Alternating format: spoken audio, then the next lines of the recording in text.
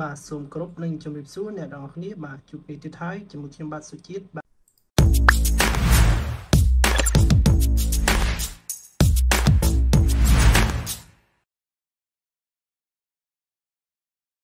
trong video នេះខ្ញុំនឹងបង្ហាញអ្នកនរគ្នាអំពីរបៀបបិទកុំព្យូទ័រនៅលើ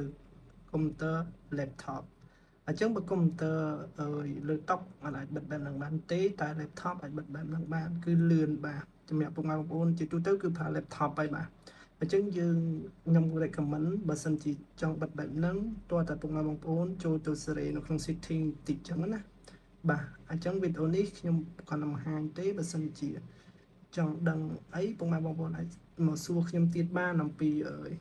របៀបនៃការសេរី setting នឹងចឹងណាឬក៏ពុកម៉ែបងប្អូនអាច search រកដូចខ្លួនឯងបានអញ្ចឹងណាពុកម៉ែបងប្អូន បាទអញ្ចឹងជាទូទៅកុំព្យូទ័រពុកម៉ែបងប្អូនបិទគឺពុកម៉ែបងប្អូនចូលទៅកន្លែងនេះអ្នកអស់គ្នាយក power តមកពុកម៉ែបងប្អូនយកពាក្យថា shut down នោះវាបិទតែម្ដងអញ្ចឹងពុកម៉ែបងប្អូនបាទអញ្ចឹង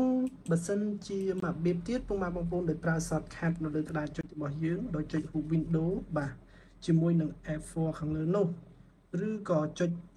FN បើសិនជាកុំព្យូទ័ររបស់ពុកម៉ែបងប្អូនមាន shortcut key មាន FN នៅនឹងដែរ អញ្ចឹងតើទៅចុចអញ្ចឹងហើយតមកចុច enter បាទទៅកុំព្យូទ័ររបស់ពុកម៉ែបងប្អូនបិទ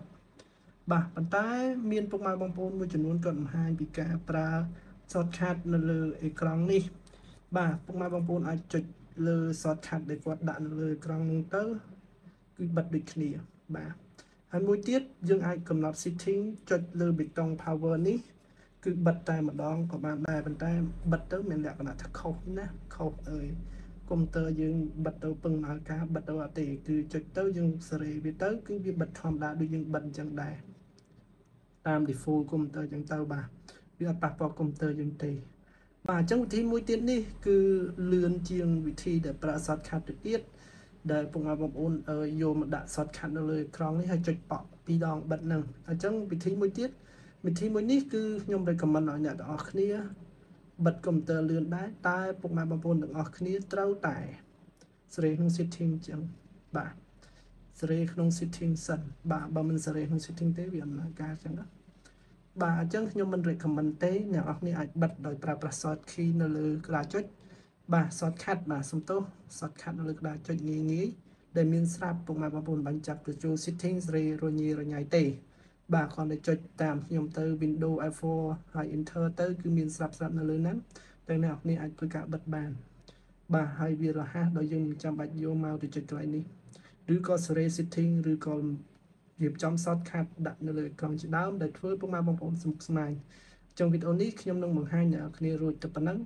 បាទអញ្ចឹងឥឡូវខ្ញុំសេរីរួចហើយ setting អញ្ចឹងខ្ញុំគ្រាន់តែយកដៃរបស់យើងទៅទាញទីហោយើងនៅក្នុងរោងកាហ្វេ កុំព្យូទ័រយើងឈប់ធ្វើអីណាអ្នកនរគ្នាអញ្ចឹងយើងទៅផ្ទះយើងទាញមកទាញកុំព្យូទ័រយើងបិទមកអ្នកនរគ្នាទាញបិទភ្លឹបចឹងហើយយើងញាត់កតាបទៅអញ្ចឹងកុំព្យូទ័រនឹងបិទទៅអ្នកនរគ្នាអ្នកនរគ្នាបើកវិញមកឃើញអានេះអញ្ចឹងខ្ញុំខំតែហូតបើកមកឲ្យអ្នកនរគ្នាមើលវិញទេតែជាក់ស្ដែងទៅអ្នកគ្នាបិទគឺអ្នកគ្នាយកញាត់កតាបទៅកុំព្យូទ័រនឹងគឺវាបិទហើយបាទអរគុណច្រើនវីដេអូខ្ញុំមានតែប៉ុណ្ណឹងបើសិនជាមានប្រយោជន៍កុំភ្លេចជួយចុច Subscribe ក៏ដូចជា Follow ម្នាក់មួយផងបាទអរគុណច្រើនបើសិនជាមានចម្ងល់ពុកម៉ែបងប្អូនអាច comment សួរបានអរគុណច្រើនបាយបាយ